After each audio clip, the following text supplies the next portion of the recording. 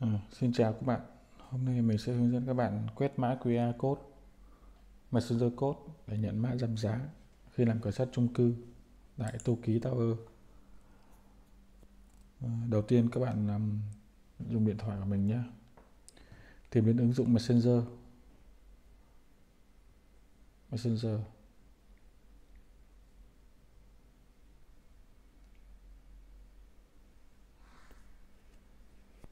Trên ứng dụng, cửa sổ ứng dụng Messenger nó có một cái biểu tượng là kế bên chữ chat nó có cái logo của bạn này, bấm vào logo, sẽ hiện ra một cái bảng mã như thế này. Đây là mã QR của các bạn các bạn bấm vào cái bảng mã đó. Có hai dòng chọn, mã của tôi và quét mã, các bạn bấm chọn mã và đưa vào đến màn hình chọn mã.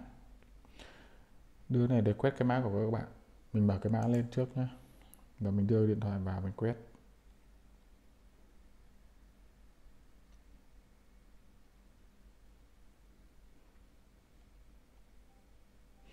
Sau khi quét xong ạ, cửa sổ sẽ hiện lên như thế này. Và các bạn bấm bắt đầu.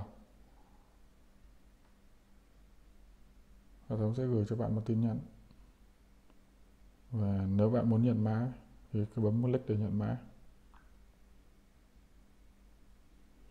Lưu ý là các mã này sẽ thay đổi theo thời gian nhé các bạn. Theo cái, cái, cái chương trình khuyến mãi. Cảm ơn.